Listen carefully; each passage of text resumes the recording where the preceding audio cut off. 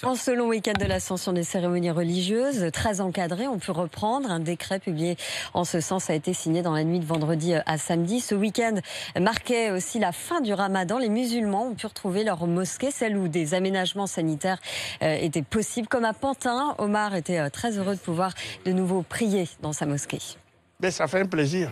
Très content que la mosquée soit ouverte. Ce qui fait nous sommes obligés de faire attention.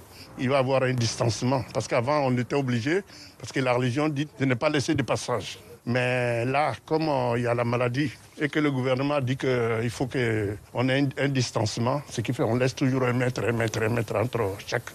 On ne doit pas se serrer les mains. Nous sommes obligés de respecter. Oui, on respecte.